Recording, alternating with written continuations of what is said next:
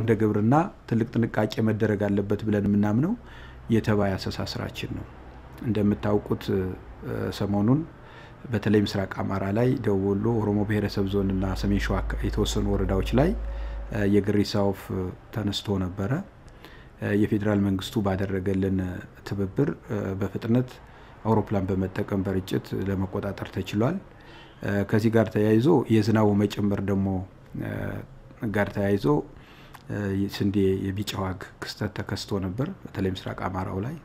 ይህንን በኬሚካልም ሆነ በባህላዊ መንገድ አርሶ አደሩ በብቃት የተቆጣጠረበት ምቹ ሁኔታ ነው ያለው።